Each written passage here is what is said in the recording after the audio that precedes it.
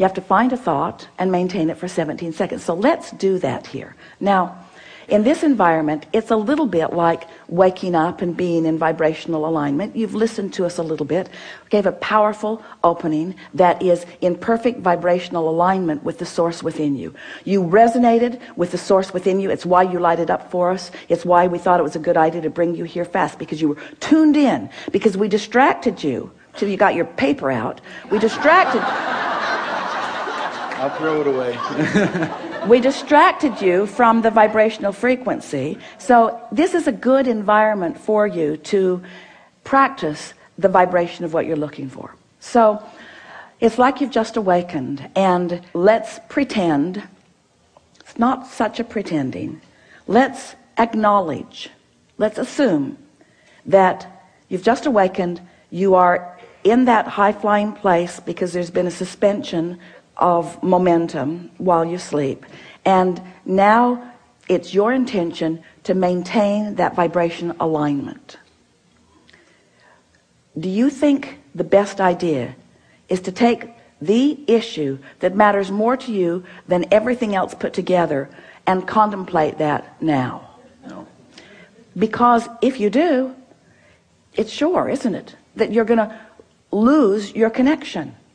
So what we want to convey to you what we want you to, all hear from us if we can convince you that the connection is what matters and solving that problem isn't if you can hear that because if you can sustain the connection for a little while the problem will evaporate. Because in the absence of the vibration of it within you it can't continue to be your experience.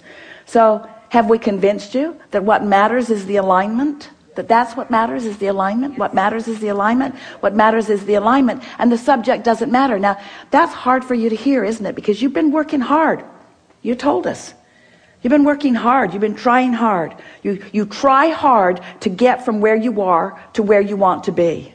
And we want you to understand oh and we know it must just be so irritating to hear this. You've been wasting your time. Can't get there from there the harder you try the more you practice the vibration of resistance. And then the louder you ask but the the more you've practiced the vibration of resistance. So you just have to let the things that you want that haven't been coming go for a while. Just let them go. Stop using what you want that you don't have as your excuse to not feel good in order to sort of drive this point home in a way that you can really hear it we've begun speaking about your point of attraction. Your point of attraction. Do you sort of understand that?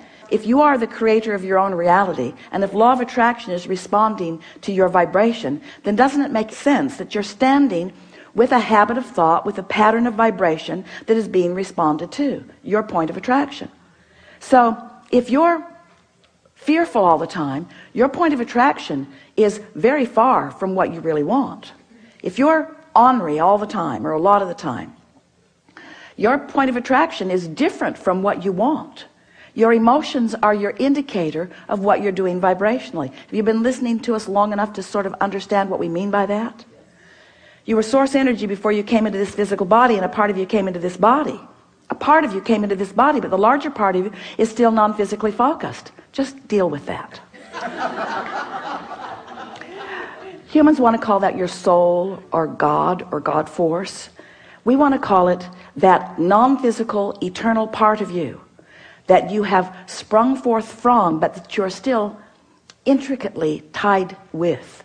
It's your vibrational nature. It's your true vibrational nature. So that part of you adores you. When you're mad at you you cause a vibrational difference. That part of you loves others when you find someone who is despicable Esther loves that word despicable.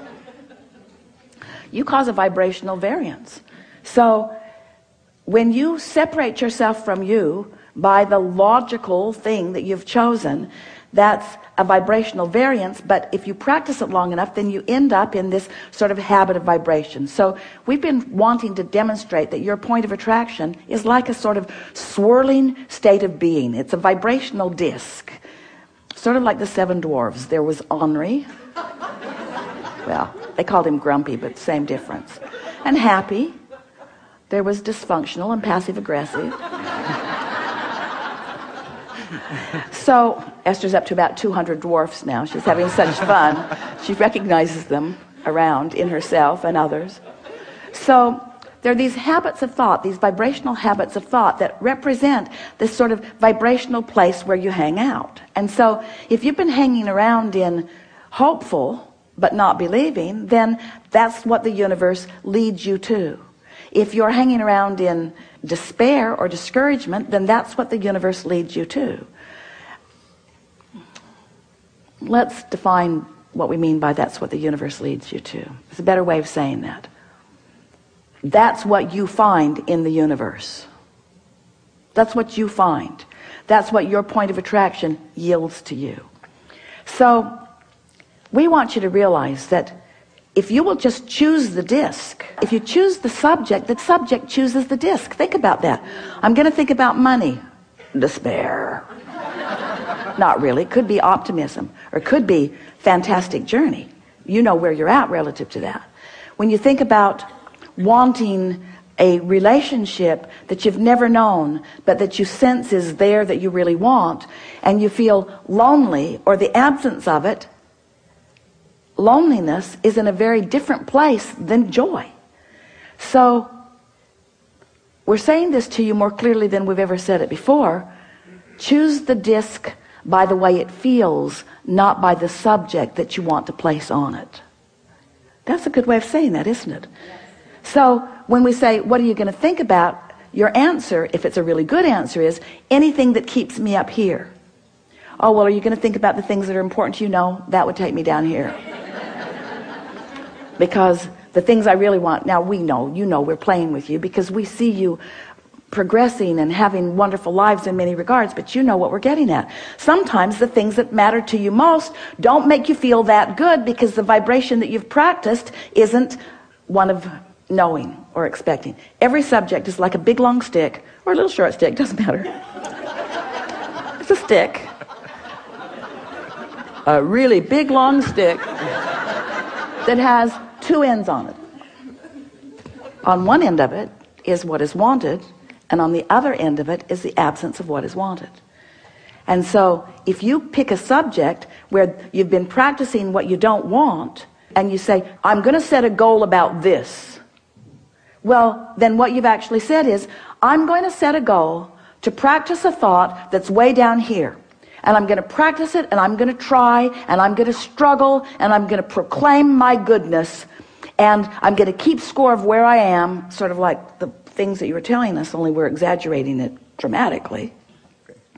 And life's just going to keep giving you the same thing. So you pick your disc by how you want to feel.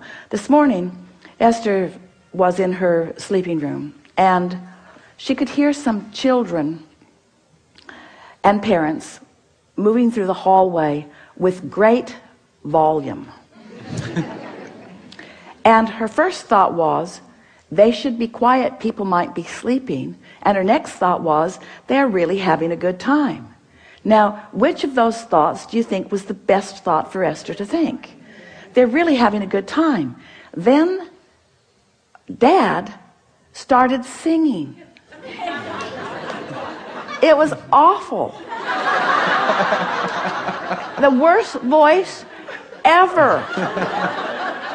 But he was so joyful in his singing. And Esther thought that's really a beautiful thing. I hope no one ever tells him how bad he is at this. So she had the potential of going all over the place. But because she's been practicing that it's like that's where the thoughts now must be. The thought could start out down here because bad singing is bad singing. In other words, you just you just know the difference, don't you? So her thought started out here, but because she was here, her thought just had to join her up here. She just couldn't stay down there. Not that long ago, her vibration would have joined her down there. Now, her thought is joining her vibration. Can you feel the difference? That's step four. I've sustained my vibration long enough that everything in my universe has to join me where I am or it's going to bounce right off of me. If it's going to join me, it's going to be where I am. I now have creative control of my environment. That's step four. Oh, so, so let's just start really generally. So you've just awakened. You've heard everything that we've said. We know that you're internalizing it. The audience is with you. So what do you want to say now that you've awakened? This bed is really comfortable. You are brilliant. you are brilliant. The bed is comfortable. What else you want to say? Um, the pillows are really comfortable. Yeah. All four of them. Yeah. Yeah. What else?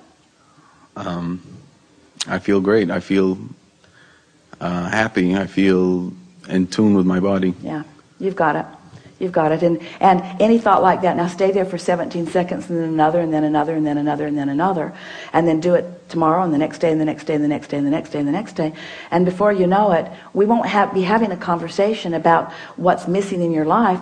The conversation that we'll be having is you'll say to us or to whoever you're talking to, you know, I just let it go for a while because I realized that the subject that was so important to me had me sort of bound in a frequency that wasn't good to me for me. So I just let it go for a while. I just focused upon the things of my life that felt really good to me. And I did it and did it and did it and did it until more thoughts joined, more thoughts joined. You see, because once you sustain this, even for a little while, the manifestations that start flowing are more good feeling emotions, powerful thoughts moving into your experience. You begin getting impulses that lead you right where you want to be.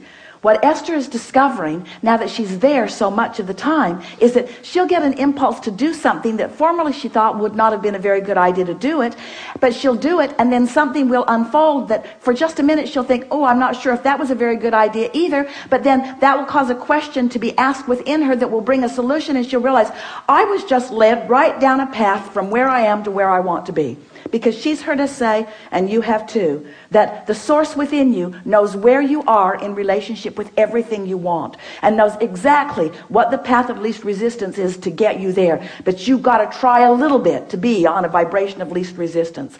And as you start hanging out in a vibration of less and less and less resistance, it's just going to amaze you at first when you realize how smart non-physical is, how caring they are about where you are, how much they know about where you are in relationship to where you want to be. And they'll just guide you and guide you and guide you and guide you. And you know what the best part is? The journey is so fun. You keep thinking it's the destination that's going to ring your bells. The journey rings your bells.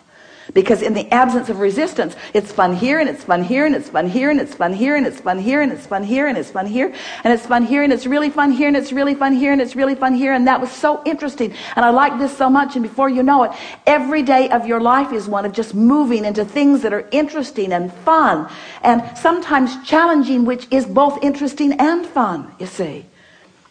You don't have to be where you think you want to be in order to be happy. You just got to be on the way to where you want to be in order to be happy. When you go on vacation, you're going to go here and here and here and here and here and here, and you're going to end up back home. And you never say, hmm, final destination is home. I'm already there. Why go? because you know why you're going. You're going for the stimulation. You're going for the life it gives you. You're going for the fun. It's not the end result, and there is no end result. There is no ending. Step four has got to tell you that. We've been hanging around on step one, step two, step three for quite a long time. Now we're in step four. Doesn't that let you know? It never ends. And there's a five and a six and a seven. Don't worry about it. We're just kidding. it's just more of the same. It's just more.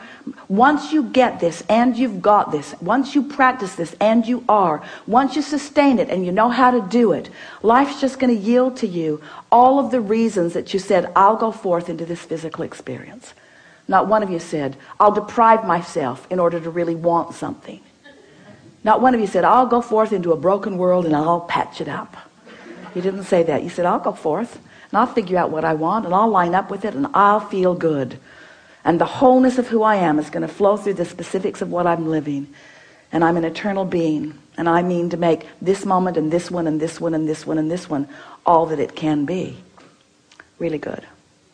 Thank you.